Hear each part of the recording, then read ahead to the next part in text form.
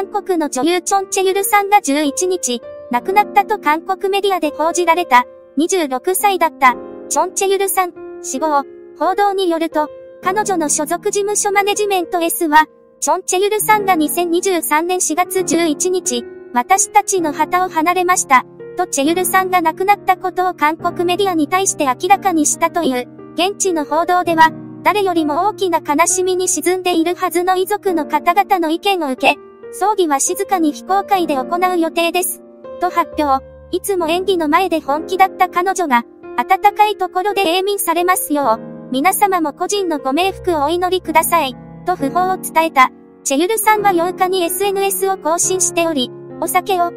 飲んでいると思われるオフショットを公開。4日には、桜並木で撮影された動画とともに、これからはブログを頻繁に書こうと思います。と綴っていた、チョン・チェユルさん、女優として活躍。1996年生まれのチェユルさんは、去年26歳、モデルとして有名になり、韓国で放送された KBS 系ドラマ、ゾンビ探偵、2020年、や映画、ディープ、2018年、などに出演した。また、ウェブ小説が原作となったドラマ、ウェディングインポッシブルに出演する予定とされていた。ネットの声、過密スケジュールに問題。そこから、病気やストレスになり、若さはお金で買えない。悲しい記事がなくなりますように。ご視聴ありがとうございました。高評価、チャンネル登録もお願いいたします。梅南高。